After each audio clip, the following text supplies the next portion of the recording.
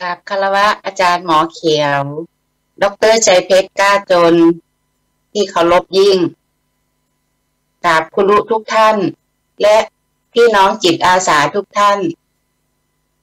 เจริญธรรมสำนึกดีพี่น้องนักศึกษาวิชารามทุกท่าน ค่ะดิฉันดิดีทิพนิพาไทยรักษา ชื่อเล่นชื่อกุ๊กไก่ค่ะ เป็นผู้ควบคุณภาคอีสาน อาศัยอยู่ที่จังหวัดขอนแก่นค่ะ วันนี้จะขอส่งการบ้าน พุทธชนะทุกเปลี่ยนความคิดชีวิตเปลี่ยนค่ะสาธุค่ะ ผู้ไข่เป็นผู้ป่วยมะเร็งเต้านมระยะที่สี่ใช้แผนแพทย์ปัจจุบันรักษาแล้วก็ควบคู่ไปด้วย แพทย์แผนไทย วทของเราด้วยค่ะได้ได้หยุดคีโมไปแล้วหกเดือน ก็เลย ก็เลยดูแลตัวเองมาด้วยยาเก้าเม็ดแต่ว่าวิวิบากเรามีเนาะมันมันก็มีอาการสะเก็ดเงินเกิดขึ้นคัน พอพอเราคันเสร็จ มันมันยุบไปแล้วทีนี้เราเขาก็บอกว่า you are what you eat เรากินอะไรมันก็จะได้นะเราเราก็ไม่ได้เราก็เราก็ไม่ได้ศึกษา เยอะว่า เอ๊ะถ้าเรากินอันนี้เยอะๆแล้วมันจะหาย เพราะว่า เพราะว่าเราเป็นมะเร็ง เราก็เลยกินพวกสมุนไพรขมิ้นเยอะมั่งตะไคร้เยอะมั่ง หรือว่าพวกอะไรที่เป็นรีดร้อนอย่างเงี้ยค่ะ คนเป็นมะเร็งระยะสี่นี้จะจะจะจะรับประทานอะไรที่แบบนั้นเยอะๆนี่จะ เราเรามีความพองในในน้ำเหลืองบอกมาจากข้อมือ อ่าหน้าแข้งอย่างเงี้ยค่ะ มันมันก็จะผุดออกมาเรื่อยๆเอ๊ะมันเราทำไมเรามันยุบแล้วมันทำไมขึ้นมาอีก เราก็เลยเลยได้โอกาสไปโทรไปปรึกษาปรึกษาพี่จิตอาสาค่ะ อาล่ากับอาอากุ้งอาล่ากับอากุ้งก็แนะนำเราไป โอเค เราเราเราก็ทำได้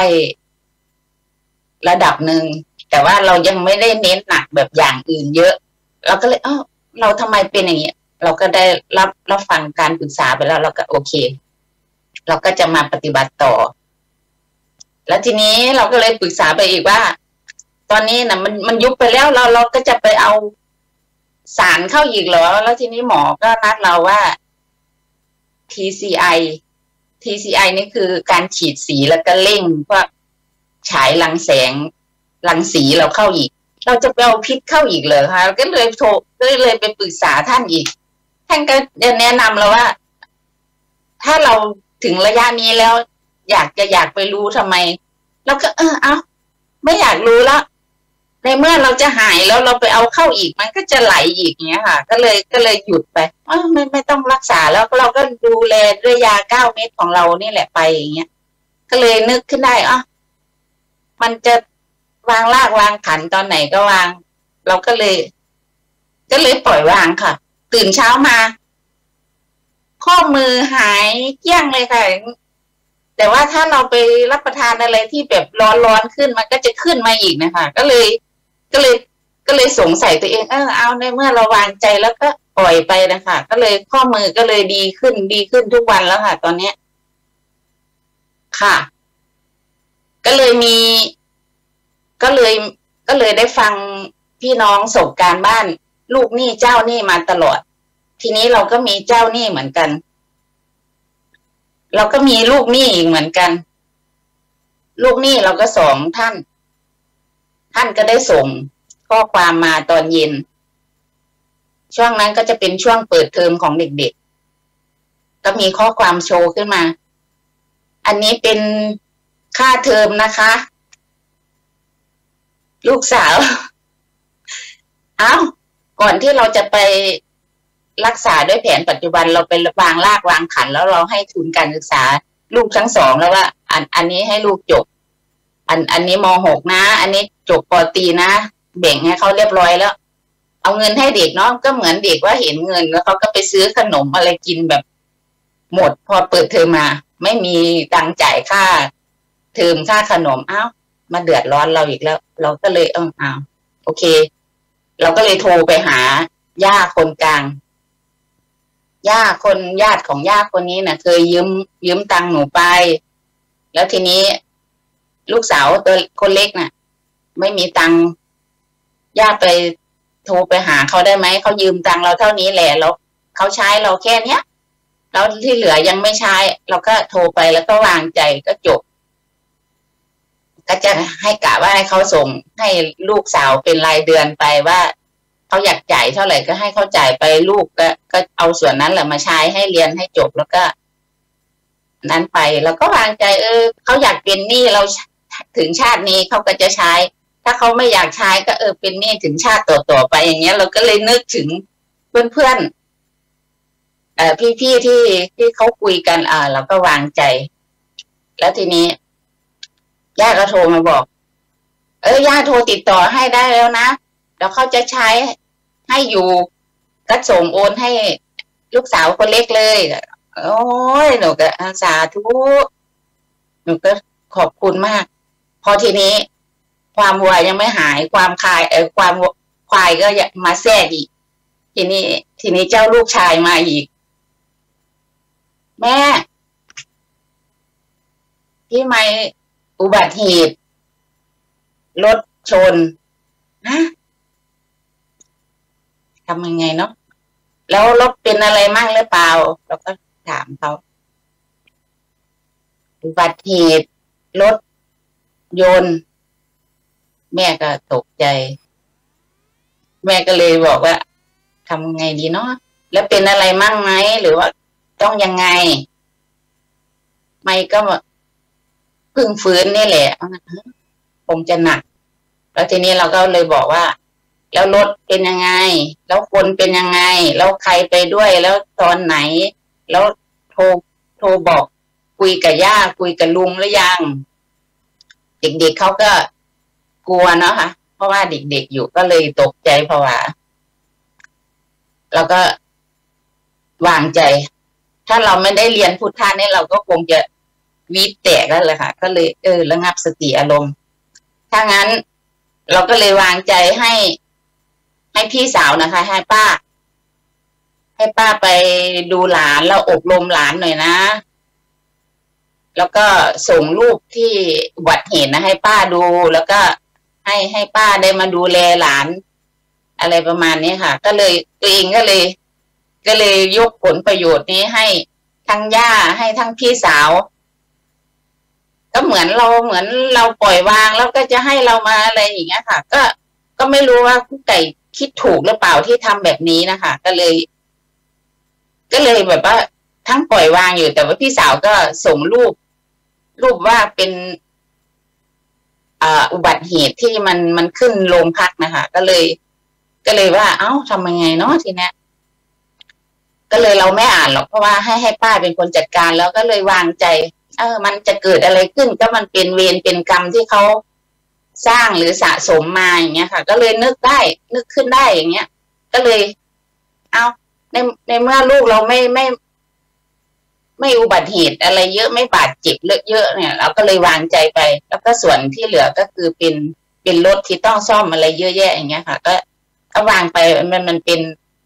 มันเป็นอะไรนะคะ วัตถุข้างนอกนอกกายก็เลยแล้วไปให้ป้าจัดการแล้ว แม่นี้ก็จะไม่ดูอย่างเงี้ยค่ะ ก็เลยเลยวางใจตัวนี้ ก็เลยตัวเองก็เลย เออไม่เป็นไรหรอก แล้วทีนี้ทีนี้มาผลกระทบตัวเองแล้วเอ๊ะแล้วเราจะไปไปกับเพื่อน เดินทางกับเพื่อนที่ภูไปที่ที่ภูผาเอออ่ามันจะเกิดอะไรขึ้นก็เกิด ในเมื่อ ในเมื่อการเดินทางของเราก็คือได้ตรวจผล ATK ก่อนหนึ่งวันใช่ไหมคะเออเอาถ้างั้นดวงเราหรือว่าอะไรเราจะ ได้ไปกับเพื่อนในตรงนั้น มันก็จะเกิดอีกตรงนั้น เราก็เลยเออวางใจ ก็เลย ไม่รู้ว่าจะทำยังไงค่ะ ตอนนี้ก็ คิดว่าเอาเบิกบานดีกว่าอย่างเงี้ยค่ะ ก็เลย ไม่ต้องไปคิดอะไรมาก ทุกคนก็รับเวรรับกรรม รับวิบากกรรมมาตั้งแต่กำเนิดอยู่แล้วอย่างเงี้ยก็เลย ก็เลยคำสอนของอาจารย์เนี้ยค่ะ ก็เลยทำให้เราแบบ เออเราจะไปทุกข์ทำไม ในเมื่อทุกคนมันมี วิบากกรรมมาเป็นอะไรนะคะ เป็นไอตั้งแต่กำเนิดอะไรอยู่เนี่ย เนี่ย ก็เลยนึกขึ้นได้ก็ก็ลูกโทรมาหาอีกรอบสุดท้ายค่ะ ลูกชายคนคนโตนะคะ แม่อย่างนี้อย่างนี้แล้วไม่จะขอตังค์ได้ไหมเขาบอกเอ้าตังค์อีกแล้ว อันนี้ก็เป็นเจ้านี่แล้วทีนี้เราก็เล็งไปเห็นเพื่อนจำจำเพื่อนแม่คนนี้ได้ไหมก็บอกเขาไปอีก จำได้ บ้านเขาอยู่ตรงนั้นน่ะจำได้ใช่จำได้แล้วก็เลยยกผลประโยชน์ไปว่า ให้ลูกไปเอาตังค์กับเพื่อนอีก ก็เลยเอ๊ะเราเราเราทำถูกหรือเปล่าที่ที่เราที่เราเอาตังค์ให้ลูกแบบนี้นะคะก็เลยคิดว่า เออไม่เป็นไรหรอกถ้าเขาอยากใช้เงินเราในชาตินี้ก็ให้เขาใช้ถ้าเขาไม่อยากใช้ชาตินี้ก็ เพราะว่ากู้ไก่เป็นมะเร็งใช่ไหมคะ ทุกคนรู้แล้วว่าเราเป็นแล้วก็แล้วแต่เขาจะใช้ไม่ใช้แต่ว่า ส่วนลูกนะ่ะ ให้เขาไปคุยกับเพื่อนเอาว่า คุยกับแม่นะคะ ก็เลยว่า เออเอาอย่างนี้นะอย่างนี้ก็ก็แล้วแต่วิบากกรรมเขาอย่างเงี้ยค่ะ ก็เลยคิดคิดตัวเองเสมอว่า เอ๊ะมันเราทำถูกหรือเปล่าอย่างเงี้ยค่ะ ทุกคนก็เลย ก็เลยคิดว่า เออแม่ แล้วเขาจะให้ไหมไม่ให้ไม่ให้ก็ไปก่อน แล้วก็ค่อยโทรมาหากลับมาหาแม่ไปเจอหน้าเขาแล้วก็โทรกลับมาหาแม่นะเราก็เลยทำใจอย่างนี้ค่ะ อันนี้ก็เลยยังรอรอคำตอบลูกอยู่ค่ะ ว่าเขาจะชดใช้หรือเปล่าค่ะแล้วเราก็เบิกบานรอส่งการบ้านกับคุณครูอยู่ค่ะสาธุค่ะค่ะ คือให้ลูกไปเอากับเพื่อนนี่เพราะว่าเพื่อนเป็นหนี้เราไว้ใช่ไหมคะใช่ค่ะอ๋อค่ะ ค่ะ ก็ถูกแล้วนะคะ ที่บอกว่าเบิกบานให้ได้ตลอดเวลานี่แหละ นี่เป็นการวางใจของเราที่ถูกแล้วค่ะ เพราะว่าเราไปกำหนดเหตุการณ์อื่น ๆ ไม่ได้หรอกที่อาผู้ไก่พยายามที่จะพูดสื่อถึงเรื่องความความสิ่งที่เรารับกันอยู่ตอนนี้นะทุกชีวิตก็คือเป็นสิ่งที่เราเคยทำมาทุกเหตุการณ์อยู่แล้วนะคะ ทุกวินาทีเนี่ย มันก็เป็นการสังเคราะห์ของวิบากดีร้ายนี่แหละ ที่ส่งผลกับชีวิตของพวกเราอยู่ แต่ทีนี้เอ่อ ปัจจุบันน่ะ ปัจจุบันเราทำใจไม่ทุกข์ได้เนี่ย สิ่งที่มันเกิดขึ้นมันเหนือการควบคุมของเราอยู่แล้ว เพราะมันเป็นการสังเคราะห์ของวิบากดีร้ายทั้งทั้งปัจจุบันและอดีตใช่ไหมคะค่ะก็เราทำดีที่สุดได้เท่านี้แหละ ก็เท่านี้ แล้วทุกคนก็อ่าจะอยู่ตามวิบากของตนเองนั่นแหละ ค่ะค่ะ ก็เลยคิดได้ดีแล้วนะคะ แล้วก็ก็วางใจได้ได้ดีแล้วค่ะ เอาแบบนี้แหละ ชีวิตเราก็ผ่านมาจนถึงจุดนี้แล้วจริง ๆ เนี่ย ยิ่งชีวิตของอากุไก่เนี่ยอากุไก่กำไรมาเยอะแล้วกำไรอยู่แล้วนะคะ แล้วก็ได้มาเรียนรู้จนถึงตอนนี้เนี่ย จนถึงตอนนี้ที่เวลามีเหตุการณ์อะไรมาอากุไก่คิดแบบเออใจเบิกบาน สภาพเบิกบานได้เนี่ยยินดีด้วยค่ะ อนุโมทนานะคะ ดีแล้วค่ะสาธุค่ะ ต่อไปเป็นป้าติ๋มค่ะ